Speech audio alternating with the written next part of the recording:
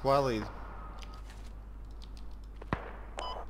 Yeah. Can I have a fire team?